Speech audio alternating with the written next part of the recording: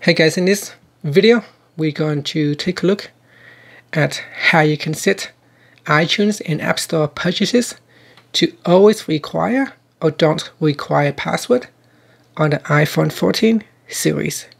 First, let's go back to the home screen by swiping up at the bottom of the screen. And from the home screen, tap on Settings, then scroll down and tap on Screen Time. Next, we go down and tap on Content and Privacy Restrictions. Then, tap on iTunes and App Store purchases. Now put in the screen time passcode.